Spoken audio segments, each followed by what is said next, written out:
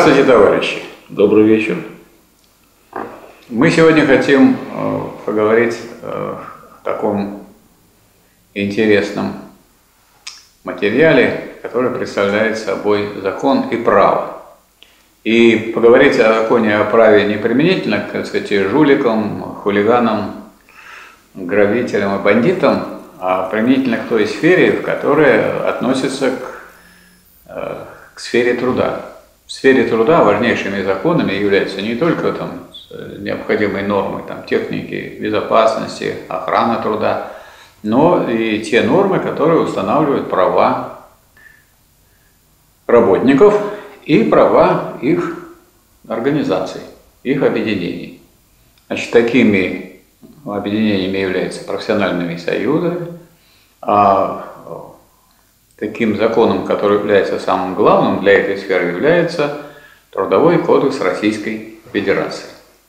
И есть специальный закон о профсоюзах, их правах и гарантиях деятельности, который является отдельным законом, который надо принимать во внимание при защите прав работников, а защита прав работников обеспечивает нормальное функционирование общества, нормальное функционирование экономики, развитие России. И если есть сбои в этой сфере, это подрывает развитие экономики, это ухудшает положение России, ухудшает положение людей и, так сказать, вредит со всех сторон. Поэтому защита закона обеспечивается специальными службами. У нас имеется, как известно, прокуратура. Ее смысл в том, чтобы наблюдать за точным и полным исполнением законов во всех сферах. И каждый человек, и каждая организация зарегистрированная может обратиться в эту самую прокуратуры, в органы прокуратуры, причем э, так там построена работа, что обращается человек или э, в районную прокуратуру, потом, если он не получает э, ответа или не решили его проблему, он может обратиться в городскую прокуратуру. Если в городской прокуратуре областной не решили, то в генеральную прокуратуру. Я как-то, мне так пришлось по делам обращаться в Генеральную прокуратуру. Я присутствовал там в приемной, а в приемной написано на стене, что сюда будем, здесь будем принимать и брать заявления только у тех, чьи вопросы не решены на уровне городском и областном. То есть генеральная не будет у вас рассматривать, если не рассматривалась вот здесь. А если вы пошлете туда, но все равно вернет на нижний уровень, поэтому обращаться надо туда. Ну и кроме того, есть у нас э, специальные другие организации, которые преследуют тех, кто нарушает. Это органы внутренних дел, суды в том числе. Ответственность предусмотрена там, скажем, за невыплату заработной платы предусмотрена уголовная ответственность. Если вот не выплачивает зарплату. Другое дело, что если никто не обращается, то и ответственности нет. Если обращаются, вот скажем, товарищам, которые строили космодром, им не выплачивали зарплату, но там были заведены очень много уголовных дел, и многие сказать, понесли за это ответственность. Поэтому государство должно э, за этим следить, оно за этим следит. И эта вот передача, с одной стороны, для тех, кто является самими работниками. Работники знают должны свои права. Но она и передача для руководителей. Руководители должны знать и свои права, и права работников, и стараться не нарушать законы, потому что нарушение законов невыгодно не только работнику, но и представителям работодателя, потому что пострадает тут представитель работодателя в случае, если они нарушают законы. Поэтому это, вот, я думаю, полезно для всех. Что касается вот меня, как ведущего, я являюсь президентом Фонда рабочей академии, Фонда содействия обучения рабочих, который зарегистрирован Министерством юстиции Российской Федерации 30 декабря 1994 года. То есть довольно-таки давно уже зарегистрировано. И являюсь одним из авторов проекта Трудового кодекса Российской Федерации, который мы готовили вместе с Константином Васильевичем Федотовым, и который так и шел, как проект Фонда рабочей академии, и его поддержали все крупнейшие профсоюзные профсоюзы России. И он получил 189 голосов депутатов Государственной Думы занял второе место. То есть больше получил, чем правительственный проект, чем проект Московской Думы, чем проект а, партии «Яблоко», проект восьми, восьмерки из профсоюзов. То есть мы этим делом занимались специально, профессионально, ну и сказать, научном уровне в том числе, являюсь профессором по кафедре экономики и права, это мое научное звание, а ученой степенью доктор философских наук. Но мы собрались здесь не для того, чтобы меня слушать, а наоборот. Слушать тех товарищей, кого непосредственно затрагивают трудовые права. И поскольку у нас вот здесь присутствует, во-первых, товарищ Лебедев, Олег Викторович, машинист электропоезда, он является членом Российского профсоюза железнодорожников и транспортных строителей. Здесь также присутствует Фурса Николай Георгиевич, водитель спецтранса. Он является членом профсоюза жизнеобеспечения и входит в профсоюзную организацию ООО Коломяжская этого профсоюза. То есть тут есть люди, которые являются а. работниками, б. членами профсоюза активными, и они эти права знают ну, не, не книжным образом, как вот я был, можно было бы про меня сказать, а знают их хоть изнутри и по характеру своей работы, и взаимодействия с работодателем. Поэтому я думаю, что мы должны подум- обсудить сегодня вопрос о том, о, о чем не должны забывать работодатели и члены профсоюза. Члены профсоюза не должны забывать о том, что они должны требовать, вот, какие права им даны, и сказать, свои права отдавать само государство, для того их устанавливает, проводит их через Думу, их подписывает президент, вовсе не для того, чтобы их ими не пользовались. Во-вторых, а, какие права должны знать работодатели, чтобы они не попали в ситуацию, когда закон будет на них обрушиваться, так сказать, уже как тяжелым катком. Если кто-то думает, что он очень высоко сидит и его не затронут эти нарушения, то в современной России это не проходит. Почему? Ну, если мы даже возьмем уровень субъекта федерации, то знаем, что вот глава, например, Кировска сидит, сидит сказать, по решению суда министр экономического развития и торговли. Нет, министр экономического развития, товарищ или теперь уже гражданин, гражданин в этой сфере называют, Улюкаев сидит в тюрьме. А еще один член правительства с таким красивым названием у него был а, пост министр по делам открытого правительства Абызов. Он решил, что это открытое у него для грабежа, для того, чтобы тащить государственное имущество и закладывать в свой карман. Ну вот по нему еще уголовное дело до конца не доведено, но он точно будет сидеть. Ну, у нас еще есть для этого органы соответствующие, которые не спят, кроме всякой прокуратуры. Есть еще один могучий орган, который возглавляет товарищ Бастрыкин Александр Иванович. Он из нашего университета. Вот я его лично хорошо знаю, очень умный, порядочный человек. Выступает за смертную казнь тем, кто нарушает закон. Вот. Он э, председатель Следственного комитета. Следственный комитет ведет всякие вот как раз дела, которые связаны не с мелкими нарушениями, которые бывают у работников, а вот с теми с крупными нарушениями, которые бывают у начальников. Поэтому подход должен быть у нас один. Закон, он один на всех, и все должны его исполнять. И работодатели, и работники, если они будут его исполнять, то это улучшит работу и работодателей, и работников, и взаимодействие, и атмосферу. И это сказать, приведет к тому, что результаты будут у нас лучше. Потому что, вот, скажем, те организации, которые работают здесь пришедшие, это уважаемые организации, очень важные, очень нужные.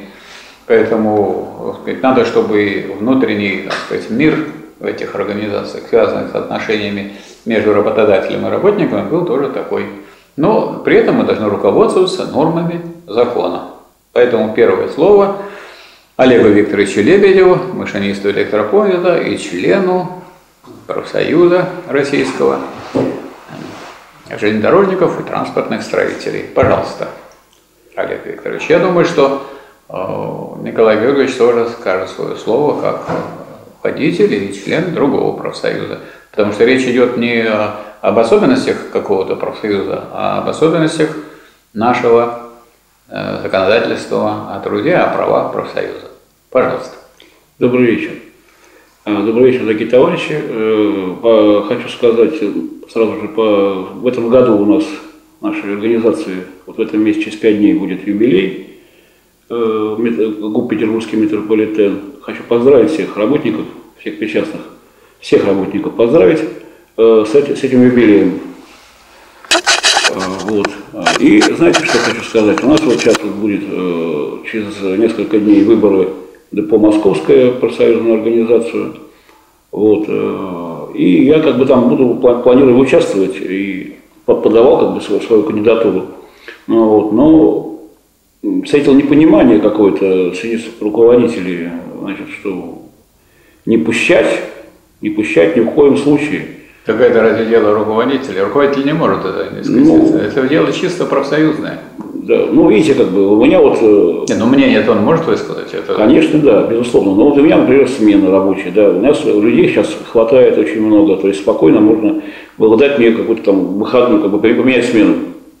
Смену так и не, никто не поменял, понимаете, я вот не знаю, значит, как, как сейчас мне это идти на эти выборы, понимаете, больничный брать как бы не хочется, понимаете, как бы за свой счет я написал тишина, э, полная, вот, э, посмотрим, что будет э, как бы завтра, какие действия еще предприму последние, вот, э, чтобы попасть все-таки как бы и поучаствовать потому что согласно уставу профсоюза, любой работник метрополитена может, любой ну, член профсоюза, соответственно, может выдвигать свою кандидатуру. Ну вот. И я не могу, к сожалению, реализовать свою возможность. Как бы. Профсоюз состою 20 лет. Вот. Э, как бы сказать, ничего такого плохого не могу сказать, соответственно. Но, но хочу знаете, как-то глупо будет звучать, но хочу благодарить наших руководителей, которые сами своими действиями, так, ну, противоправными действиями, понимаете, э, ведут э, конфронтации, понимаете, коллектива и конкретно меня, и, и себя.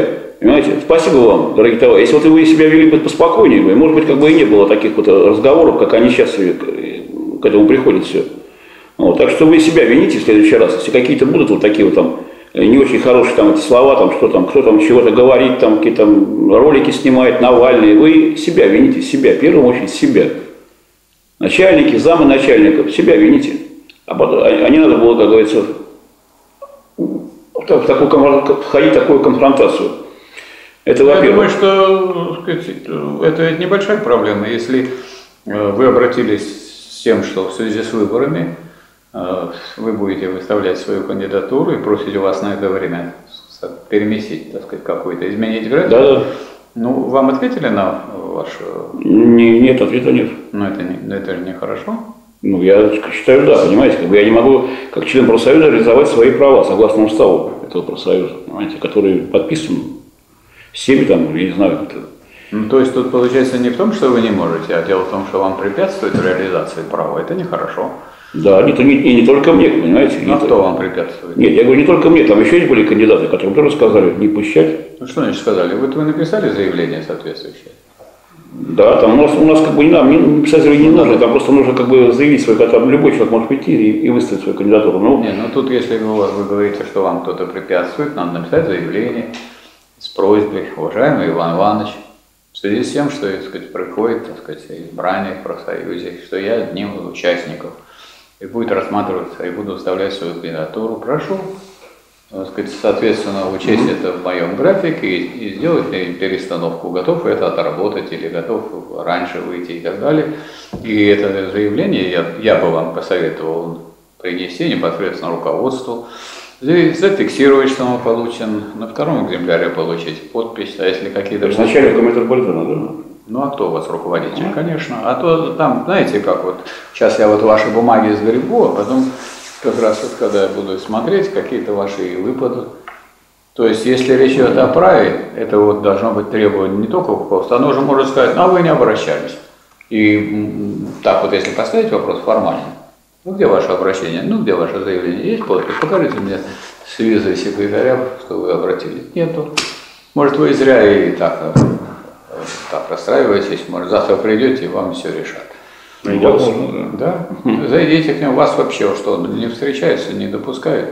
Это же нормально, чтобы руководители встречались с работником. Приходите, говорите, Иван Иванович, можно я вот собираюсь тут выступать, так сказать, свою кандидатуру выдвигать по делам профсоюзным. Можете мне передвинуть туда-сюда?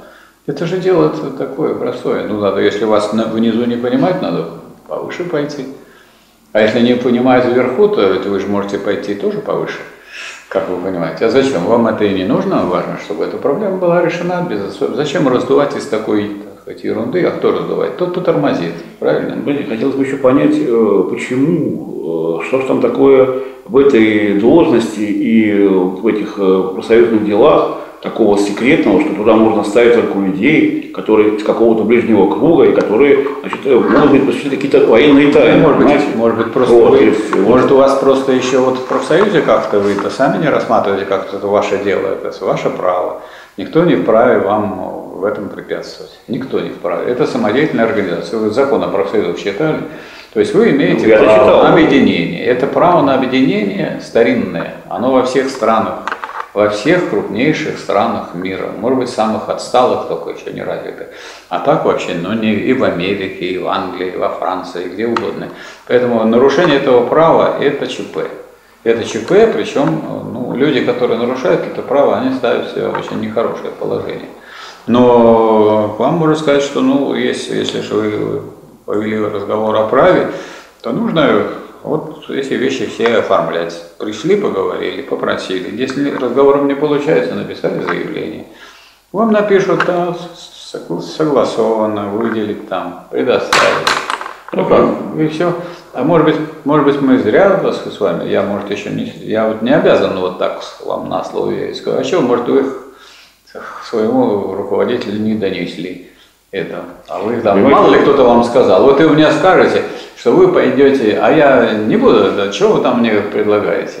Там, Тем более я вообще не регулирую ваши смены и никак не могу повлиять на них. Абсолютно. Да.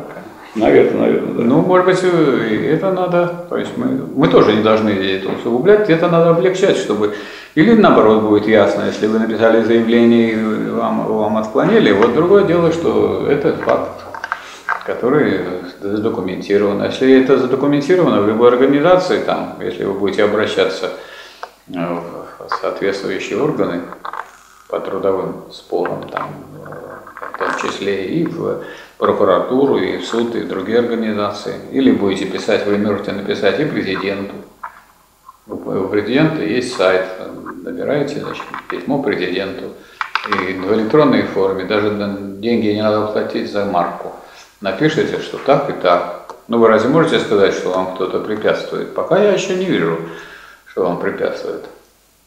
Я думаю, может, они и не будут препятствовать. Ну, Надо может, подать. Может быть, и не будет. Да. Скажет, ну, не волнуйтесь, все хорошо. Ждите, да, ну, поставим вам Понимаете, ну просто как интересно, да, как только вот э, там адвокат получит вакансия, да, и как бы я проявил желание как бы выбираться, да, сразу как бы вот на, во время выхода из отпуска на, на работу, да, меня стали, как бы сказать, видно там, стали все мои смены, там у нас там единое каждый день я пишу какие-то объяснительные, то есть какой-то идет, идет пресс постоянно, понимаете, на работе. То есть я за, за 18 лет работы в другом депо не написал ни одной, ни одной бумаги за нарушение, тут я пишу почти каждый день. Понимаете, каждый день. Ну, это ваше дело, никто не обязан писать. Нет, ну нет, вам, ну, вам, там есть, написать. есть какие-то, нет, я не буду но спорить. Но, никто О, не может но, но главное, вы поймите, главное, значит, э, мне позвонили с нашей поликлиники и, спросили, и поинтересовались, а как вы, Олег Викторович, себя чувствуете? Хорошо. Я сказал, что очень хорошо, да. И, но просто когда я уточнил, позвонили ли всем, ли, может быть, с этим ковидом, не звонили никому позвонили только мне. И уточняли, а где у меня были больничные, и не надо мне там какое-то дополнительное обследование. Понимаете, за столько лет мне никто не звонил, и у меня никаких там этих жалоб нету, как бы проблем нету со здоровьем, и вдруг мне кто-то звонит и спрашивает. Понимаете, как бы? А, а соответственно, а как это поликлиника? Мы договорились с вами сегодня обсуждать не, под, не подозрения и невозможные, так сказать, мысли, а нарушения, если они есть, и права. Ну, позвоните, если вам позвонили, во-первых, нет такой обязанности снимать трубку. Первое, что хочу сказать. Ну, это я очень трудно объяснить. Я многим с вами объясняю. Говорят, вот, мне звонят. Ну, Нет, ну нету такой обязанности у вас снимать Вот, это, это, это доказывал. Да. И второе, если говорить, я из поликлиники, откуда я знаю, что вы из поликлиники, может вы из зоопарка, может вы еще из какой конторы, может из подворотни. Откуда я знаю? Вы разве по телефону можете узнать? Я вот вам позвоню, вот я вам позвоню и скажу, я вот Иоанн Павел. Николай мне позвонил женским голосом. Да? Иоанн Павел II. Сказал. Как То есть я хочу сказать, что если мы с вами становимся, и вот этому посвящено наше с вами собрание, что это относится не только к вам, да, и не только к Николаю Георгиевичу, а ко всем. Если речь идет о правах, давайте тогда так как-то очень четко, если звонки это в сторону. Так, теперь, значит, если вы попросили, где ваша просьба, покажите, дайте мне, покажите, я не, не вижу. Нет вашей просьбы. Мало, мало кому-то вы в папку заложили, и вы как положили, так я ваши и вытрясайте по дороге. То есть, или бывает, люди нервные, вы написали ему заявление, они вот берут, только от вас пришло заявление, они его берут, вот так. А вы второй экземпляр. Да, я такое видел. А, вы, Георгиевич, а вы второй экземпляр достаете. Пусть он второй порвет. Второй порвет, третий экземпляр достаете. Потом человек успокаивается, идет хороший разговор. Ну что, ну что, ну это же не дело, ну что вы рвете? Это же все равно, если я решил написать заявление, оно попадет. Либо оно попадет вам просто в руки. Не хотите в руки, значит, надо записать у секретаря. Не, не берет секретарь, ну пошлем по почте. Это еще лучше, у вас будет документальные доказательства того, что вы обращались, что люди не сделали. Сейчас вот, понимаете, вы мне будете говорить, я вам верю.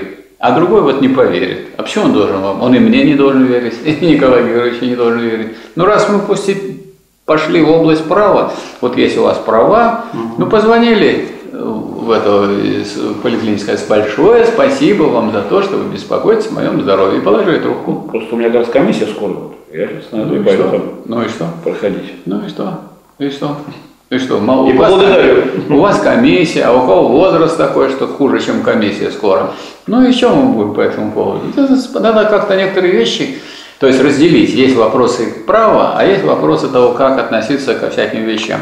Меньше, может быть, не давать, если вот люди поймут, что вы так сказать, вас это раздражает, будут вам уколы какие-то делать. Ну, я, я, я так и подумал, да. А можете, вот называйте, что я э, этот самый, как хотите. Хулиганском. А? Хулиганском, да? Да, пожалуйста. Только печку не. Э, нет, ну что, а что делать? Ну что делать? Если я так смотрюсь, ну, что, ну посмотрим там, как будет на изображении.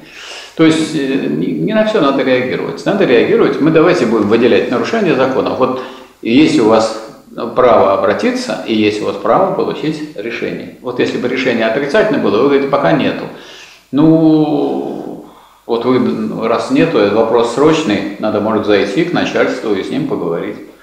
Вас прямо там что, не, недоступно начальство? Ну, недоступно, почему? Ну, еще и пошли к человеку, так сказать, и поговорили. Сказать, что так и так, поскольку я должен вот выходить, у меня просьба к вам, меня разрешить меня тут переставить на смену, да и все дела. Может быть, такие проблемы и решать. Обязательно, ведь можно же писать заявления, там, создавать петиции, еще прочее, а какие-то вещи можно решить. Мы так и думаем, что это вот, ну, считайте, что это наше коллективное обращение к вашему руководству. Помогите э, товарищу воспользоваться своим правом, э, помогите реализовать то право, которое дано ему нашим российским законом. Вот что я плохого сказал?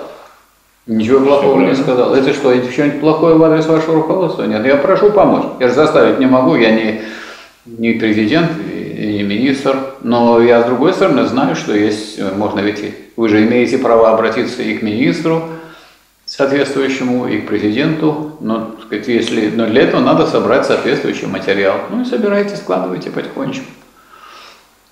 Так. Еще другой вопрос. А, вот мы внесли как бы э, улучшение, да, вот, э, коллективный договор хотим внести, да, внесли предложение. Да. И вот нам говорят, что все эти предложения незаконны. То есть э, приложения, улучшающие э, условия работы э, и, как, и охрану труда работников, они незаконны. Ну, значит, два вопроса. Во-первых, законные они или незаконные, первый вопрос. Вот я как специалист по этому делу, потому что я считаю для студентов-конфликтологов в Институте философии Санкт-Петербургского университета соответствующий курс называется «Социально-трудовые конфликты и технологии их регулирования». Вот, наверное, и второй на, курс, и второй курс «Политические составляющие социально-трудовых конфликтов». Значит, этот курс, э, не присутствуя у меня на занятиях, можно почитать. Зайти на московское э, отделение фонда рабочей академии, там эти оба курса, и видео есть, и текст дан, потому что один из товарищей расшифровал все. В частности, в частности, значит, что записано в Трудовом кодексе. Кто-то из ваших э, руководителей, с которыми вы общались, не знает этого. Но он свое дело знает, а это не знает. Ну, вот, ну, я вот хочу его проинформировать, и вы можете проинформировать. Это легко очень решается. Вы даете ему бумажечку выписка из закона, статья такая-то, где написано, что в коллективном договоре не может быть положения, ухудшающих положение работника. А улучшающих может быть. Поэтому весь смысл коллектива, если не будет в коллективном договоре положение, улучшающее положение работников, он не нужен.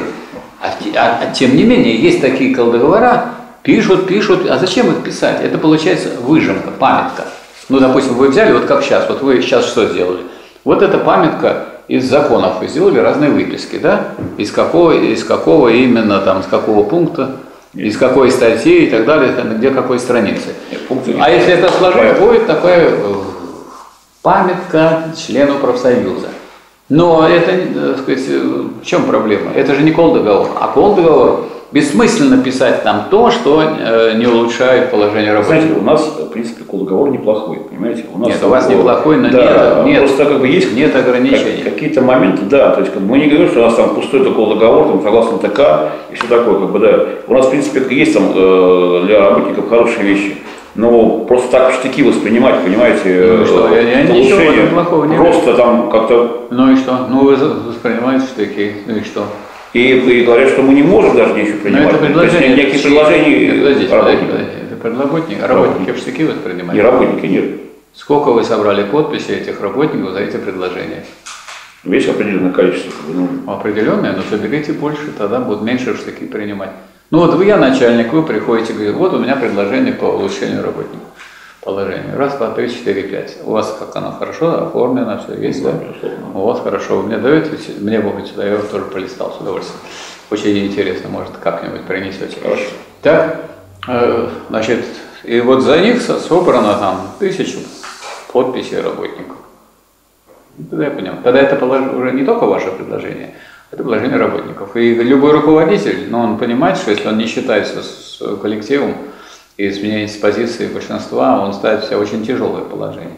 И наоборот, так сказать, вот ну, вы принесли предложение, и за вами, за вашей спиной э, никого нет. Или есть, так сказать, несколько членов профсоюза. Ну, тогда, может, легче от вас избавиться, чем, чем заниматься этим делом. Понимаете? Может быть, так, так, так, так это и происходит. Такое так и происходит. Так, значит, да. значит, надо прежде чем, может, не надо торопиться идти к руководству, не убедившись в том, что за это вот предложение выступает значительная часть коллектива, ну, допустим, четверть или треть. Ну, а если это больше половины, то это уже основание, это рассматривают не как просьбу, а как требование. А если как требование, значит, э, обязан работодатель э, начать коллективные переговоры, если вы наставите. Причем освободить от работы участников на сколько? На три месяца. До трех месяцев с оплатой по среднему. Не так, что вы будете ходить и просить, да разрешите мне выступить тут, я тут, меня будут избирать, а то, что вы будете три месяца участвовать в переговорах и будете ходить по работникам, им объяснять, о чем шла речь, какие позиции были у работодателя, какие позиции у вас, слушать, что надо отстаивать, потом доносить до переговорщиков. Предложения должны быть такие, за которыми масса людей стоит. Масса людей, правильно? Вот да. закон как говорит, когда обязан я, если я ваш работодатель, я когда должен рассматривать ваше предложение? Рассматривать. А до этого я рассматривать не буду даже. 50%. Ну, и у вас есть 50%? Нет, пока нет. А что тогда вы тут нападаете на свое руководство? Руководство говорит, идите, Организуйте Получается, вы даже еще ничего не предложили, а вот Нет, просто уже есть какая-то реакция? Для закона предложением, которые обязаны рассматривать, они вот если хотят, да, у вас хорошие отношения, Иван Петрович, посмотри, вот мы тут готовим такие предложения. Он говорит, ну уж вы тут захотели. Ну это вот такой разговор у вас, товарищи.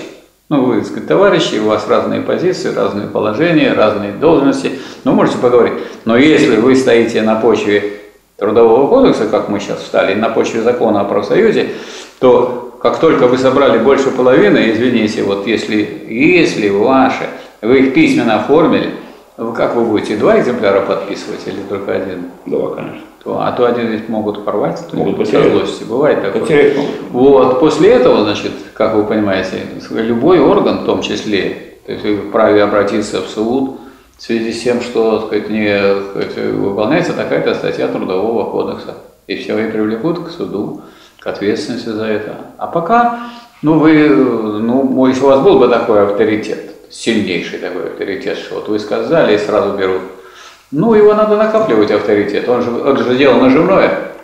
Если вот вы сказали, так не сделали, завтра приходите вы с кучей, так сказать, подписей. И таких людей, которые делают неправильные вещи, их из жизни не исключишь. Ну, как Но вот, а, вот, а, вот такую работу, а вот такую работу, как собрать за, за эти предложения, если они очень хорошие, сейчас бы вот мы этому посвятили, в чем они прекрасные и хорошие, чтобы люди, людей к этому привлечь, и чтобы их больше собрать. Надо не сейчас, а еще раз можем собраться. И будете вы разъяснять, что, какие вещи нужно сделать в метрополитене. Давайте мы сейчас пока вот с, с этой темы закончим. Ну, я как бы уже свои эти предложения озвучивал, как бы вот недавно мы э, ролик э, вы- еще надо да. озвучивать, и хорошо. Ну, вот, как бы. Сейчас просто вот вопрос вот этот э, Ну вот, э, понимаете, э, я вот знаком с работой таких организаций, как вот, скажем, э, Российский профсоюз докеров. Они Я всегда, да, они всегда вот эту работу, большую очень, очень сложная, большая, длительная работа, вот это, ну, работодатель свое пропагандирует, вы свое пропагандируете. У вас есть профсоюзные права, вам никто это не запрещает пропагандировать и не может запретить, и никто привлечь за это не может, за то, что вы это отстаиваете. Это насчет того, что кто-то сказал, что нельзя выше и лучше, это вообще глупость, потому что только то, что лучше, то, что улучшает положение работников, то и может быть в коллективном договоре. Коллективный договор, который не улучшает положение работников по сравнению с законом, вообще не нужен. Зачем он нужен? Не нужен. Поэтому это люди темные, они не понимают. Но вам-то нужно не их. Но вам-то, ну, а вы все время, так сказать, обращаете на их голоса. А это, а вам нужны голоса рабочих самих, сами рабочие, они-то как считают. Ну, некоторые рабочие верят тому, что говорят, что не, не надо, что нельзя и так далее.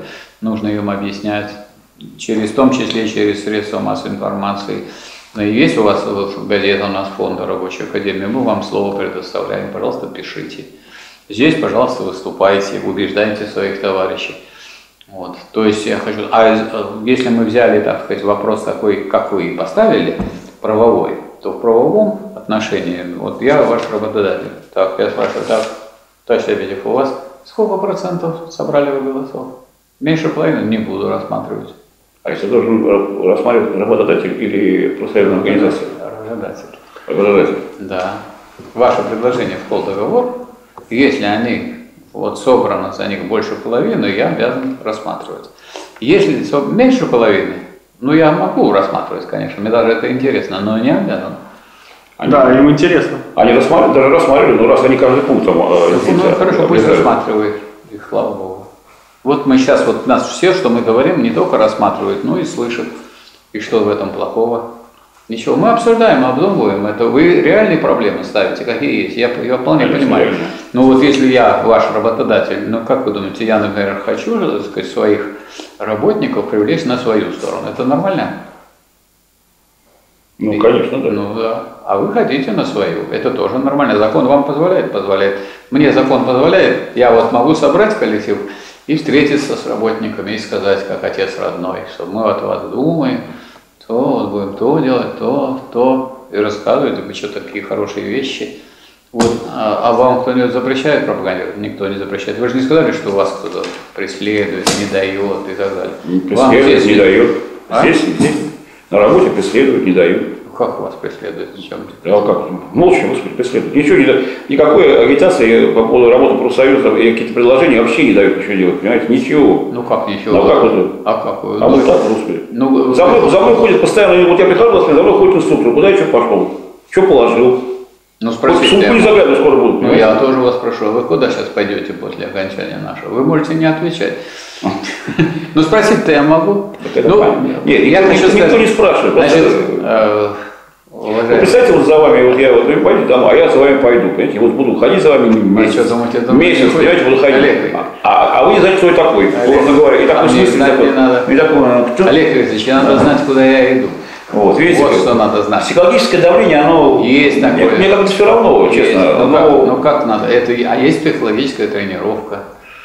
То есть вы должны привыкать к тому, что если вы начинаете за что-то бороться, к чему это приводит, обязательно у вас, кроме сторонников, Будут противники. Будут противники. Эти противники будут использовать всякие возможности, чтобы вас, так сказать, сбить, тормозить Нет. и так далее. А вы, вы же защищаете. По закону, понимаете, я работаю по закону, а они работают против закона. Нет таких законов прессовать человека, понимаете. Это, знаете, травливающая, есть какая-то статья обнаружения. А вы не обращайте на это внимания, тогда и не будете прессоваться. А, хорошо. Почему? Почему? Потому что э, я, например, вот если у меня были такие случаи, звонят там всякие угрозы по телефону. Я спрашиваю, а тебя еще не повесили? Нет, скоро повесил. Два-три раза и все, и закончилось. Раз, если вас угрожают, не обращайте, не положите трубку. На сейчас очень просто, больше этот номер да, не да. выступает, заблокировали и так далее. Не слушайте их, ну вот, ну, называйте меня как хотите. То есть я хочу сказать, что вот надо понять, и это, я думаю, надо всем товарищам, профсоюзникам понять, что если вы за хорошее дело, за какое-то вступаетесь, за интересы коллектива, за права трудящихся будут вам мешать. И будет борьба. Поэтому мы говорим о борьбе. И в борьбе обретешь ты право свое. Только в борьбе. А раз борьба, значит надо один из приемов. А? Эсеровский, да. О. Эсеровский. И они это знали. Эсеры тоже. Ну это все понимают, кто, кто вступает в борьбу. Но если вы вступаете в борьбу, значит, у вас будут противники. А раз будут противники, значит, вы должны в их действиях различать то, что ну, как бы не подпадает под нарушение закона, а есть то, что подпадает. Вот всякие нарушения закона вы должны фиксировать и реагировать. Причем, если вы один реагируете, тогда, значит, э, могут среагировать так, что ну, только с вами будут разбираться, искать у вас нарушения. А если вы реагируете так, если есть какое-то нарушение, вы сначала собираете достаточное количество так сказать, бумаг, которые это подтверждают, и достаточное количество сторонников. Если кто хочет с вами воевать, ему приходится воевать все время с какой с коллективом. А с коллективом, это война ведь такая. Сегодня ты воюешь с коллективом, а завтра... Я ведь не случайно начал с того, что где это, где министр Улюкай, где в тюрьме сидит, где Абызов, тоже сидит в тюрьме. Нет, нет, нет у нас сейчас в России таких должностей, с которых не снимают. Нету. Да. Нет. А когда еще знать Где этот самый... какую информацию... Ну, хорошо, этот самый владелец вашего, который... Они так играют с огнем, сразу могу сказать. Так вот, играют с огнем. А вот те люди, которые не платили зарплату и которые, значит, э, строители метрополитена, сынок уже сидит? А, этот Александров-то? Ну, сидит Александров, младший. Где-то там дома, по-моему, сидит. Ну, это другой вопрос. Ну, уважает, значит, его как. Дали ему дома отсиживать. Но сидит же сидит. Ну, поэтому сказать, что у нас вот, ну, какой нибудь я тоже могу много сказать нехорошего в адрес, так сказать, существующего государства. Но сказать, что оно совсем не реагирует, тоже не, неправильно. Надо так как-то грамотно это все подать. И надо понимать, тут будут к вам так относиться, это ни к чему хорошему для тех, кто так относится, не, не приведет. То есть они ведь хотят вас к чему э, побудить, чтобы вы так более фундаментально это доказывали, более основательно, письменно. А тогда ты вообще не отвернешься. Вот. Тогда не отвернешься. Вы давали такие-то предложения. Они обязаны их рассматривать, даже если вы один. А если тем более, если они, не, а если они больше 50% у вас, они не рассматривают, ну это вообще грубейшее нарушение. Это нарушение закона. А если нарушение закона, это нарушение процедуры разрешения коллективных трудовых споров. Теперь, если коллектив выдвигает требования, и требований, я так понимаю, у вас вообще никаких нету на сегодняшний день. Как же нет требований? Ну нету требований. Покажите, дайте все, я почитаю. Есть только предложение. Требования. У вас есть предложение. Я вот предлагаю а, вам то, все, пятое. А я говорю, а требования, а вы требования, требования, первое, второе, третье требования. Требования так оформляются. Они четкие должны быть, ясные, строго выверенные. Не то, что вот только вам захотелось, а точно они выражают интересы громадного большинства работников метрополитена, и под ними присутствуют подписи. Если этих требований больше половины, на них явно посылается руководство. Руководство должно ответить Если оно не ответит, считается, что оно ответило отрицательно. Если оно ответило отрицательно или, или не ответило, считается, что согласно Трудовому кодексу, что начался коллективный трудовой спор. Тогда опять вот эти люди, которые значит, вы представляете, они освобождаются от работы, нам 6 человек, 6 человек или 7, ну кого вы на переговоры посылаете. И они будут участвовать в разрешении коллективного трудового спора, у вас такого не было еще в метрополитене, на протяжении на протяжении трех месяцев. И три месяца вам надо будет не то, что вы один раз вас просите вас, ну, дать поучаствовать, разместить. Три месяца должны будут оплачивать всю вашу работу. Я сидел на переговорах как консультант э, Российского профсоюза докеров, сидел на переговорах и Каретникова спрашивает, а один из заместителей генерального директора, а у вас это руки-то не забыли, как это вот стурон? Не-не-не, говорит, мои руки, ну, у меня стаж такой, что они не забудут и так далее. Освобождены должны быть от работы с оплатой по среднему в течение до трех месяцев. И вот идет ваш коллективный трудовой спор. Когда он закончится, когда он закончится, те люди, э, э, которые после этого вы имеете право объявить забастовку. Вот те люди, которые вам препятствуют и так реагируют, это те люди, которые готовят забастовку. Это не вы готовите забастовку, это они готовят забастовку. Они готовят. А кто? Ну, конечно. Так, а как? Так бы вы ко мне пришли, я сказал, да, что? А, давай. есть предложение, потом да, я посоветую, поговорил, в чем-то, от чего-то я вас, Олег Викторович, да, а я говорю, нет, не буду, то не буду, все не буду. Ну так вы тогда набрали, так сказать, я теперь оказался перед забастовкой. Да, да. А у нас есть губернатор, у нас есть соответствующие власти, сказать, на черта нам такие руководители, которые не нашли общего языка с коллективом. Общий язык, понимаете, общий язык вообще не хотят находить, понимаете? Да, вот обсуждают мои, нет, обсу, нет, вы же обсуждают мои предложения и даже не, не, не созволили позвать меня. Я звоню нашему и что? правкому. Да я тоже вот. А он мне говорит, а я, я вас не знаю. Я бы тоже, я бы тоже сейчас вот читал. То есть я с моей фамилией только и делаю, не зная никого, читаю его книги. Ну и что такого? С моей фамилией зачитывают, понимаете, с ну. моей фамилией. А на следующий день, на следующий день я ему звоню, он говорит, я говорю фамилию и отчество, он говорит, я тебя не знаю. Но если я, говорю, если я говорю, что я тебя не знаю, значит я тебя знаю. Ну так понятно. Ну, значит, вы, вы понимаете, что вы набираете вес, авторитет. Согласитесь. Ну, конечно. Но это надо только приучать. Если кто-то начинает против вас выступать, значит он вас зауважал. А если бы он вас не уважал, он бы вообще на вас не обратил внимания и слышал, и знать вас никак. То есть я хочу сказать, что это, ну, как бы вы должны понимать, что это профсоюзная борьба, она такой термин и есть. Профсоюзная борьба связана с сопротивлением, которые некоторые хозяйственники, которые не вполне э, усвоили закон о профсоюзах, или не, прямо его не выполняют, или косвенно, чтобы не отвечать. Ну, у вас пока, э, как я понял, э, поставлено дело так, что схватить за руку не можете. Да. Почему? Потому что вы думали, что вы по-хорошему, а некоторые да, по-хорошему. Да, наверное, наверное, так, да. Значит, Значит, они, вот эти люди, толкают вас к тому, чтобы вы документировали свои действия. Если вы кому-то что-то предлагаете или просите, вы ему раз оставили. Я себе второй экземпляр, и там на втором экземпляре расписали. Как правильно сказали, толкают на забастовки, да, то есть они виноваты. Да. То есть, а, толкают так, так, таким действием, получается, они Интересно, я ваш работодатель. Мне... То есть я хотел по-хорошему, а они говорят, ну, тебе просто хорошему. Вы ну, предложили хорошее дело для метрополитена для предприятий, так, а я сижу. Для коллектива. И говорю, не для будут. Коллектива. А если коллектив будет по-другому жить, так лучше будет конечно, работать. Конечно, конечно. Ведь надо же, надо же, чтобы была атмосфера соответствующая. Если хорошая атмосфера, чтобы люди с радостью приходили на работу, и тогда они не нервничают. А когда они не нервничают, вы же едете там, у вас двое, наверное, да? Один. Один, Сейчас вообще, да, представляете, человек, если да. будет нервничать, машинист, это же страшное дело. Ну. Я в такой и не пойду поезд я пойду в такой поезд, где не нервничаю спокойно. Так надо насобирать авторитет.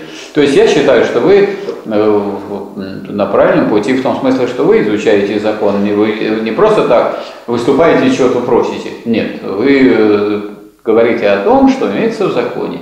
Поэтому надо, значит, э, в каких-то заявлениях, которые вы делаете, и просьбах в соответствии с законом, с пунктом такой-то закона, параграф такой-то, прошу предоставить, прошу обеспечить, прошу это сделать и так далее. Это совершенно нормально. И приучить надо людей культурно и грамотно разговаривать, как положено в демократическом обществе. Что такое демократия?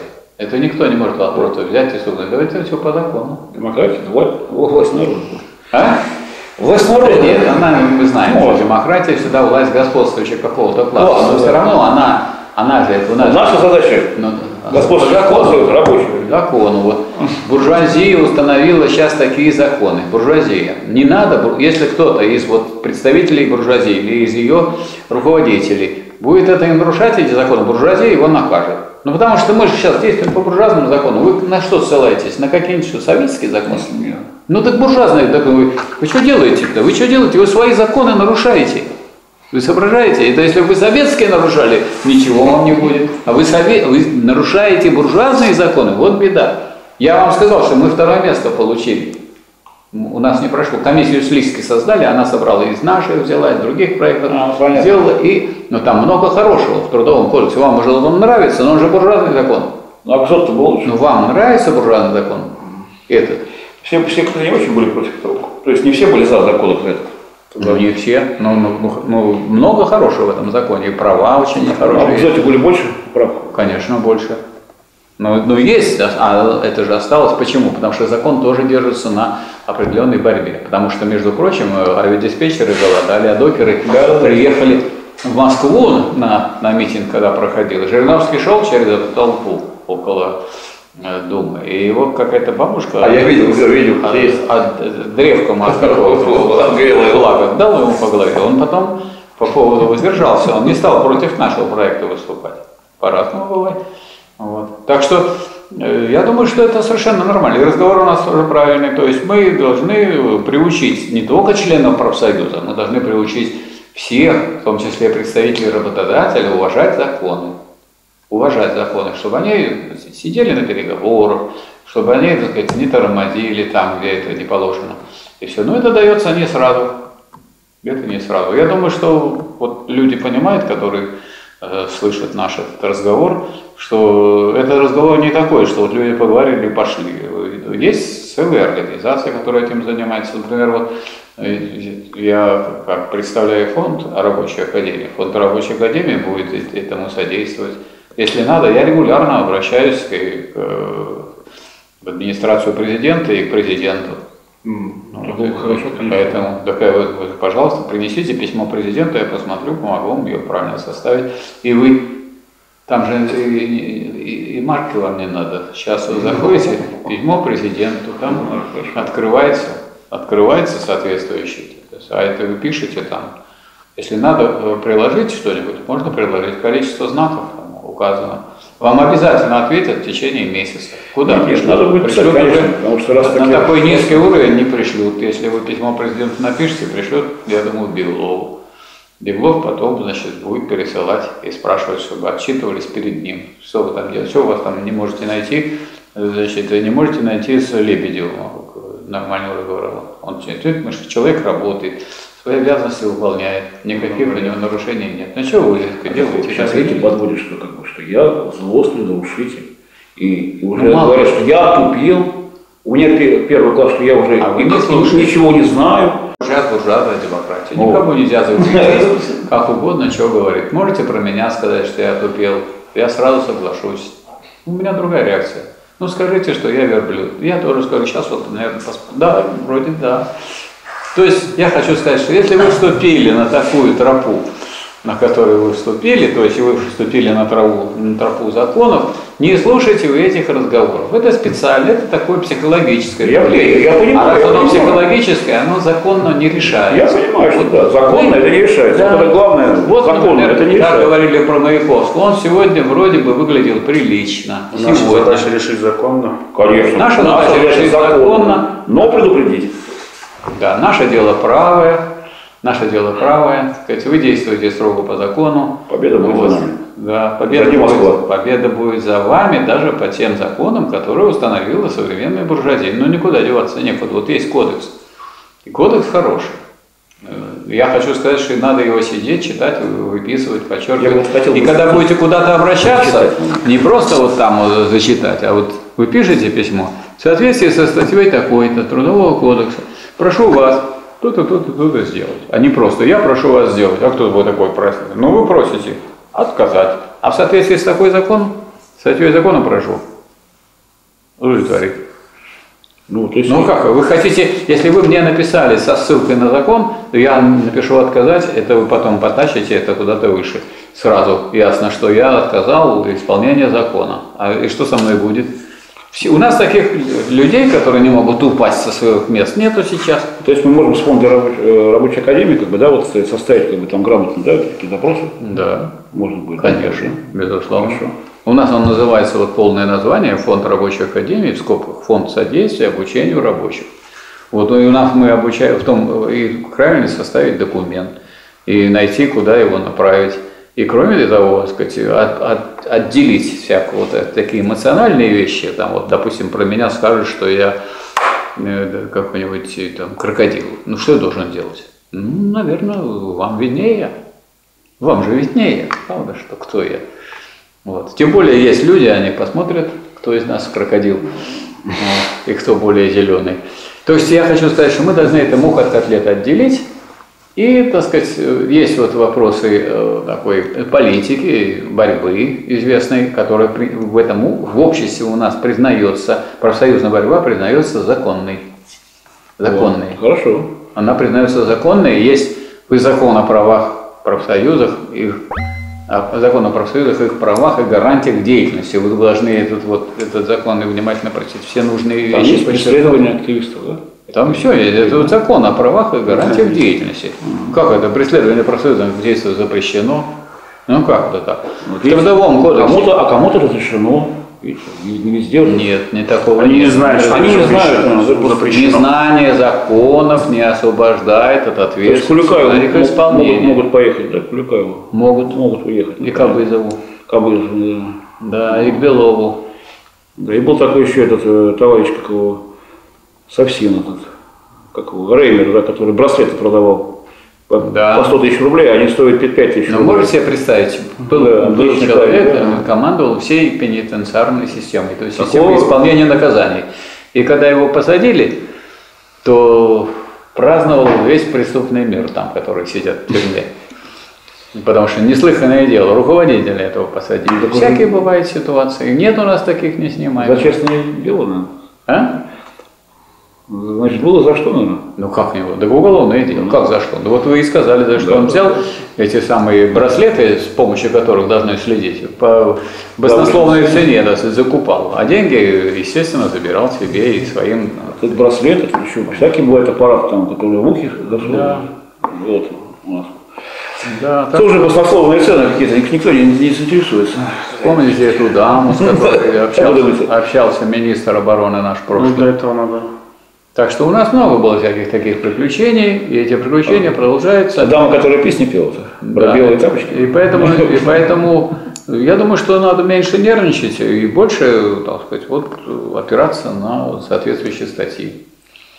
Ну и на э, коллектив. Вот я бы, скажем, прежде чем э, пойти что-то потребовал, собрал бы, ну вот если я бы собрал бы три подписи, ну от трех можно отмахнуться. 30 уже, это 300. 300 это как ты отмахнешься, еще неизвестно, чем это кончится. А если 3000, ну тогда это, извините меня, это не нашел общий язык с коллективом гражданин. Вот по этой причине может быть. Причем трудно уволить работника, а что касается руководителя, то у них вообще элементарно сразу. Раз и улетает. Очень легко. Руководителей очень Судя легко как вот- уволить. Приказано. Они бывает долго сидят, потому что они, сами, так сказать, там выгодно их держать. Но когда нужно уволить, раз, два и нет, и все. Судя как по Николаю Георгиевичу, как бы не, все наоборот получается, понимаете, как бы. И никто, вот, э, человека, как бы, как говорится, гнобили, да, и как вот, э, кроме меня, как бы, я, может быть, конечно, не очень там это сильно, может быть, надо было сильнее, как бы, участвовать в, этом- в этом вопросе, да. Но вот, э, но никто, как бы, слова-то особо Ну, как не вот я вот- Ну, я- не подали люди, Ну, как понимаете, вот- вот так ну, вот. я не вот. понимаю, как вот мол- Моя хата с краю, да, так. Ну как вот ну, вот такое вот употребляете вы гнобили? Вот как вот, я не представляю, как можно меня гнобить? Да как вы меня не гнобите, я не обращаю на это внимания. Я делаю свое дело. Ну, был- был- У вас есть права, у вас есть идея, вы защищаете права работников, права профсоюзов. Ну и вы, э, Надо было тогда Успех? начинать собирать подписи. Наверное, да. Да, конечно. Или спросить в голову или в живот. Ну, то есть вы должны опираться на силу, на, на силу, На коллектива, силу. на силу коллектива. А как? Коллективу. Борьбе- Коллективную силу. Да, да. Ну, лучше вдвоем сходить.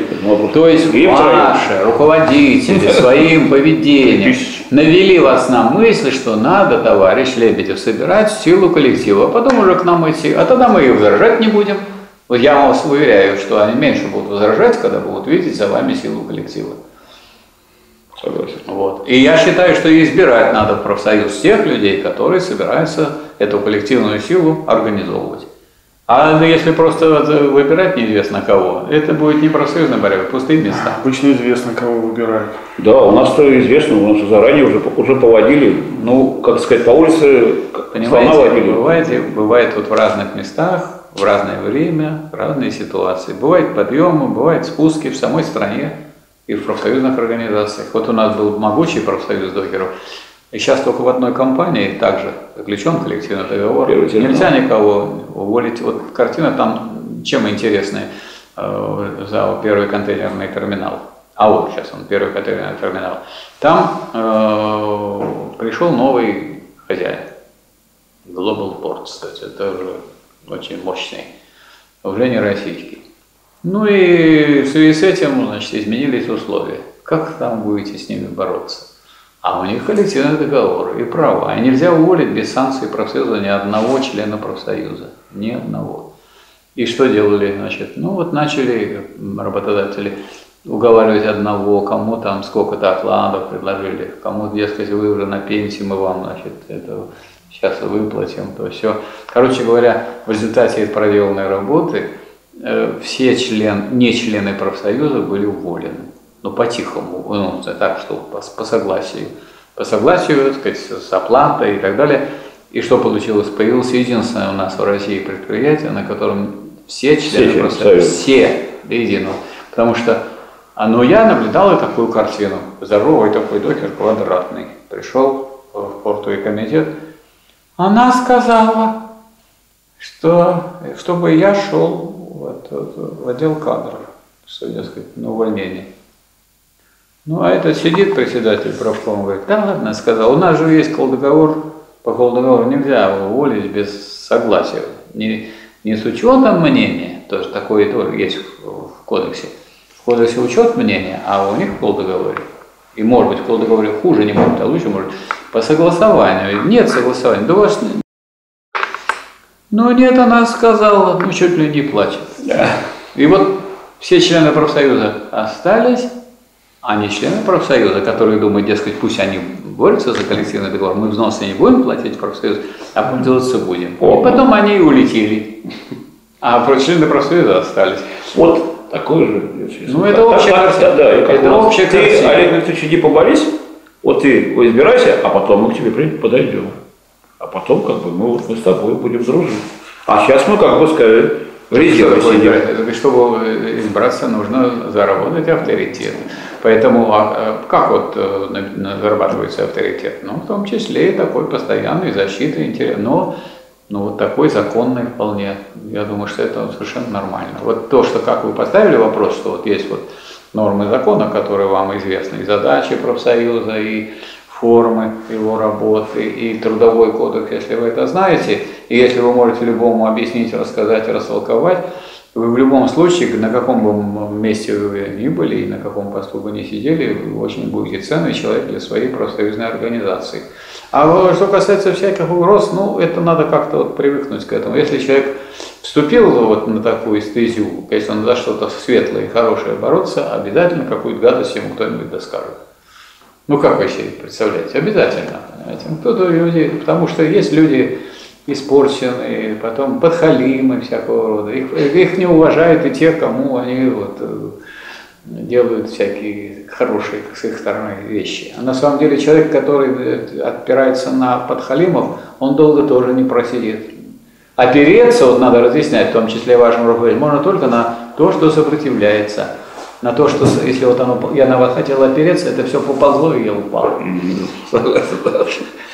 Так что, так что э, я думаю, что э, ваши товарищи, руководители должны быть рады, что имеют в вашем лице и в лице Николая Георгиевича таких людей, которые так сказать, радеют в общем, об общем деле, о развитии нашей экономики, о правах трудящихся, о том, чтобы жизнь наша улучшалась. Разве это плохо? Очень хорошо, да. Николай Георгиевич очень большую работу проводит, как бы, мне так помню. Просто у нас э, так, так ставят, знаете, вопрос, что ну, вот, э, Николай Георгиевич, как бы, вот, так, бедный, сгорел за право. Да, он, все, на высок, он на более высокой. А он уже вот, выходит он на более высокий уровень. Да. Он на более высокой общественной должности теперь. Так что так, Николай теперь, мы с вами... причем, причем российского, российского масштаба, так что все вот. хорошо. Э, Еще хотелось бы вот... Так просто на такую должность не поставить. Небольшой такой экскурс. Задача профсоюза. Можно я как бы так, да, буквально две минуты? Давай. Ну так, тут просочту как бы так, э, вот. Значит, основная задача профсоюза.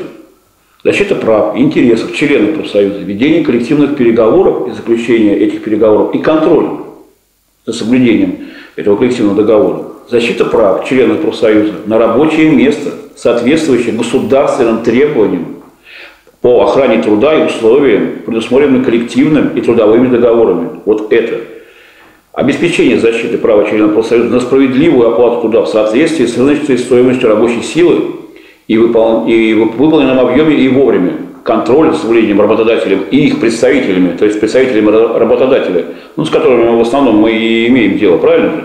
Законодательств о труде и иных актов, содержащих нормы трудового права и защиты членов профсоюза от незаконных взысканий, увольнений и других противоправных действий, участие в разработке системы организации оплаты труда работников, размера тарифных ставок, окладов и нормирования труда, содействие занятости, контроль за состоянием условий и охрана труда, поддерживать справедливые требования членов про использование установленных законов в порядке для этих целей, собрания, митинги, шествия, демонстрации, пикетирования и, по крайней мере, забастовку.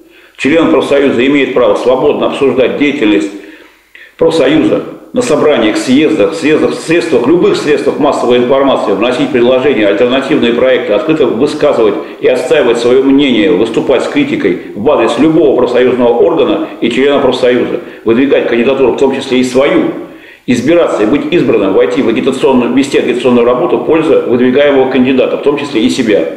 Пользоваться фондами профсоюза, участвовать в принятии решений об использовании этих средств. Добровольно вступать в профсоюз. Добровольно. Равноправие члена профсоюза и уважение их мнений, предоставленное им право и разъяснение их защиту своих позиций на собраниях, конференциях, съездах и через другие средства массовой информации, развитие внутри профсоюзной деятельности, уважение интересов меньшинства и мнения каждого члена профсоюза, свободу дискуссий, укрепление единства и авторитета профсоюза, соблюдение финансовой дисциплины. Понимаете, вот а сейчас, давайте раскроем тайну. Сейчас, нет, да, сейчас я вот, да, вот интересно, сейчас скажу. Сейчас, сейчас, сейчас скажу, забастовка это написали какие-то враги. Подождите, подождите. А я вам скажу, нет, откуда нет, это. Нет, нет, нет, нет.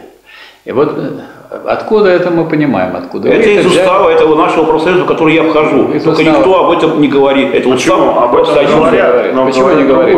Вы можете то же самое найти в законе о профсоюзах, и то же самое вы можете найти в Трудовом кодексе Российской Федерации. Я вас очень бы просил сделать конспект но только вот э, с э, точным указанием, вот Я трудовой год, страница сосуд, такая, да? страница такая, страница такая, и сделать такой конспект профсоюзного работника, который связан вот с этой проблемой, которой вы занимаетесь. И хотел бы вас сейчас спросить, уже мы подходим к завершению, э, кем приняты эти вот такие законы? То, что сейчас... Боролись за них члены профсоюза, боролись за них трудящиеся. А кем приняты они? Ну какие органы? Какого класса?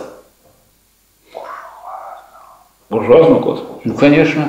То есть, Значит, они должны их выполнять, раз у нас все буржуазно. Ну, естественно, но они не все еще осознают, из, э, представители буржуазного класса, что это, это закон, это закон, который принят, ведь э, не рабочий класс сейчас у власти.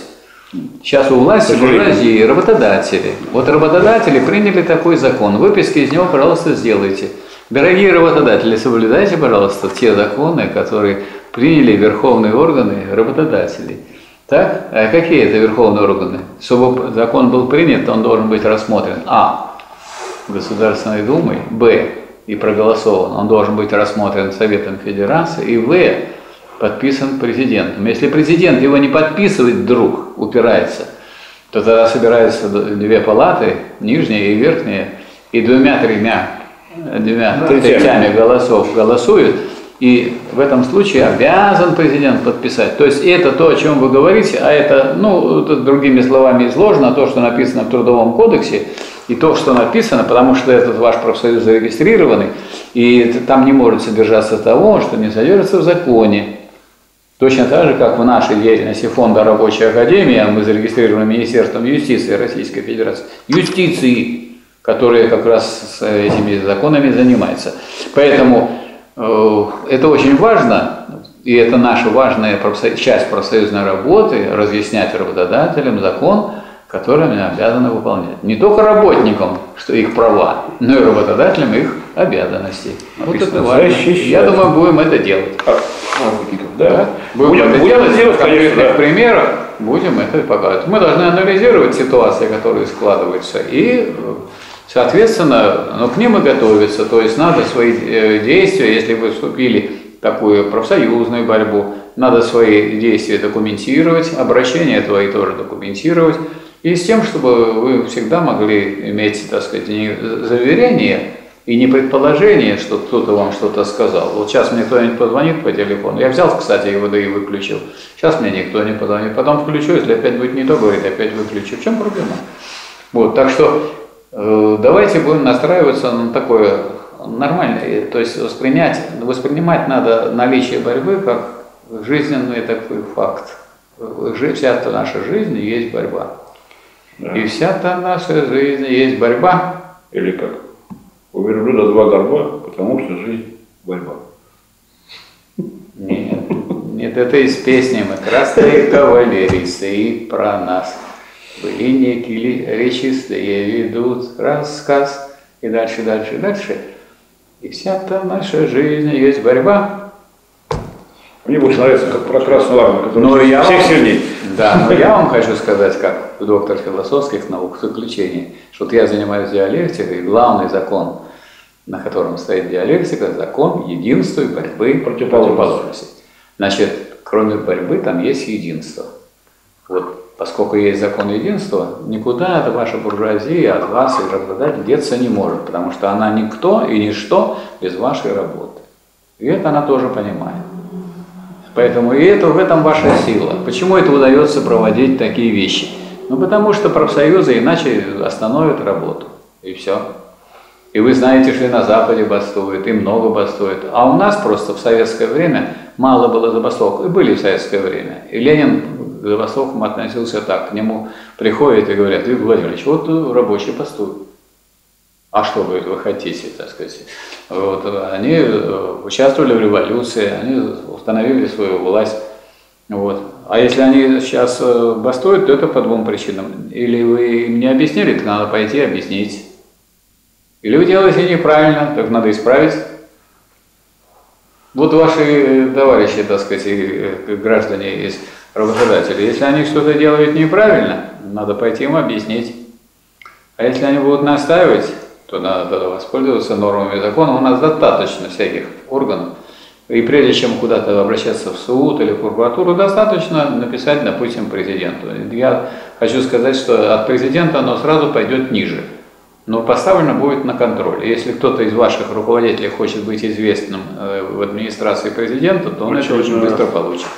Пусть об этом не забывает. Хорошо, Он спасибо. будет, как, знаете, как есть, там есть такой состав и тех, которые на движение, а есть, которые на задвижение. Это не сразу бывает, но оно применяется. Ну, так если Спасибо. они требуют, если они так хотят. Да. Спасибо вам, Спасибо. товарищи. Очень приятно Спасибо. было с вами Спасибо. побеседовать. Я думаю, эти проблемы, которые у нас здесь поднимались, они у многих стоят, и люди вот мучаются этим. Может быть, тут не, не так получилось формально, в том смысле, что мы не просто какие-то нормы законов обсуждали, а чисто и психологические моменты, но они есть на самом реальной жизни. Так Да, ты да, есть сталкиваешься, тебе же Вы поделились, эмоции да, вы поделились с этим, э, так сказать, вот, и, так сказать, поделились и рассказали товарищам. И я думаю, что товарищи к этому отнесутся. И каждый, каждый, кто с этим сталкивается, и злиться будет, и в отчаяние впадет, и все это по- постепенно будет, нужно, нужно будет перебороть себе и Да. находить на нормальную ровную работу. Как вы думаете, вот, например, там, те, кто боролись за дело рабочего класса, как вот там, как вы, Ленина ведь тоже как угодно называли. Да там еще... А Ленин приводил слова Некрасова. Мы слышим звуки одобрения не в сладком ропоте хвалы, а в диких криках озлобления. Слушайте, вот я все А знаю. вот если вас, работу, а вот вы пришли, вы нам искали меня, работодатель очень любит и хвалит. Ну, Мы бы с- скажем, вот я не знаю, я, скажем так, я сам сижу в таком двойственном положении, все-таки я такой в научной организации, а вот уже Ник- Николай Георгиевич, он бы сразу, он бы сразу так подозрительно на вас посмотрел, да. Так что все хорошо, в этом смысле. Борьба есть борьба, надо мне, чтобы было все понятно, и с опорой на закон. У меня такой вопрос, еще говорю. Давайте. Почему рабочие, вот, да, вот, когда вот была революция, что, почему? Они же тоже, них там и дети, и туда-сюда. Они же кредиты смело, нет, ладно, кредиты, они смело шли как-то вот э, с, на эти вот детей. Почему так все? А у нас же, как, люди, Значит- как людей так перевернули, запугали, что они вообще ни- ничего не хотят делать, им просто наплевать. Потому что у нас предала рабочих КПСС. Раз она предала, это как будто голова. У головы не стало у рабочего класса, и он, так сказать, потерял. Но у нас на сегодняшний день есть Рабочая партия России, которая, так сказать, находится в становлении, там решается все голосами рабочих. К рабочим относятся с уважением. Принимать туда не только рабочих, и даже не рабочих больше, чем рабочих. Но таких нерабочих, которые не подчиняются решениям рабочих, мы исключаем из партии. Так вот, когда вы говорите при Ленине, при Ленине в апреле, в апреле 17 года у нас было 100 тысяч членов э, большевистской партии. Когда у нас, если бы у нас сейчас было 100 тысяч членов, а у нас рабочих стало в 7 раз больше, чем в царской России было. В 7 раз. А как так получилось? А так получилось, что люди, некоторые наши решили, что они без партии, без профсоюзов, решат свои проблемы, думают, мы будем больше работать, больше сверхурочных наберем Не, не, это, и так это далее. не наш метод. Вот, вот они сейчас в это дело втянулись, и, а на самом деле, если вы хотите повысить зарплату, это надо делать организованной, коллективной, профсоюзной борьбой. Мы предлагаем 30-часовую рабочую неделю, чтобы увеличить количество людей, работающих уже на предприятии. Сколько часов? 30 часов. 30 часов. Хорошая идея. Это очень хорошо. Я бы на вашем месте сразу согласился. У меня намного меньше часовая рабочая неделя, чем у вас. Не буду говорить сколько. А у нас же, как, как говорить, сверхурочные, рабочая сила удешевили, и теперь за копейки работают часами. Потом говорят, где деньги? Вы, Да. вы работаете больше, господи, вот вам три- Так, А потом это всё новое- новое а, пишем. а у вас вот а сверхурочные как оплачивается? Первые полтора часа, первые два часа, нет, полтора, я уже забыл. Два. Первые два часа пол, полтора раза, потом два раза. Ну, вот соблюдается. голый оклад, голый оклад. соблюдаете? Соблюдается, но голый оклад. Ну, стараются убрать сверхурочные, Нет, чтобы не это было. неправильно. Ведь а, должен быть не голый оклад, у вас не окладная работа, а зарплата. У нас Вы так. возьмите в трудовом кодексе, прочитайте зарплата, туда входят премии. А у нас не входит никуда. Что значит у вас? А у у нас, нет, вы неправильно сказали, у нас в России зарплата входит, а вы где живете? Я не знаю, я живу в А вот вы не знаете, вам объясняю, вы живете в России. Раз вы живете в России, то и требуйте, чтобы вам платили Людей как положено по высадили. закону. Если вы не требуете, вам не будут платить. Людей высадили вот на этот, когда был этот локдаун, там, в марте месяце, всем заплатили, работникам метро, метрополитена заплатили голый тариф. То есть кто, кто не работал, премию не заплатил, сказали, ну вы же не работали, зачем платить вам премию? Тариф это основная. И люди как-то... Тариф это не зарплата. О, и- и тишина. Тариф это основная часть Почему зарплаты. тишина записывали видеоролик? Нет, записывали, а толку нет, денег-то не заплатили, денег-то не заплатили, понимаете, и все съехало вот на тормозах, ничего. Ну, может быть, тот, кто Значит, за невыплату зарплаты. вопросе, ему, видимо. Какая ответственность за невыплату зарплаты? Уголовно. Уголовный. Так вы просили, вы возбуждали уголовное дело? Ну а кто будет возбуждать? Профсоюз и должен возбуждать. Согласен. Ну а как иначе так? Ну, как, как- Вот такой у нас. Ну почему? Там товарищ, который как бы обращался в прокуратуру, я думаю, ему заплатили, вот и все. Да? А был такой депутат? А другим не надо. Депутат? Кто обращался, тому и заплатили, кто не обращался, не заплатили. Что же он так? У нас было Ну вот, коллективное. это как в том анекдоте про как приехали иностранцы и, и спрашивают, а что у вас это, что у вас э, нет черной икры в магазинах? А у нас, говорит, спроса нет. Вот постойте, никто не спрашивает. А почему у вас низкая зарплата? А никто не требует повышения.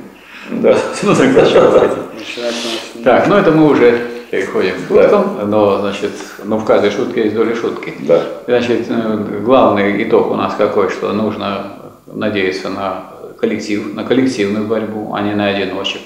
Это раз.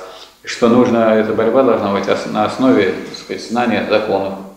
И главное, что нужно знать, что в коллективном договоре можно сделать больше, лучше для работников, чем в законе. В этом смысл коллективного договора. И что бы там ни говорили ваши темные там, люди, не знающие, не обращайте на это внимания. Есть, это, же, это же записано все. Вот хуже нельзя сделать. Вот если напишите хуже, чем в законе, нет нормы, а лучше, пожалуйста. В этом смысл коллективного договора.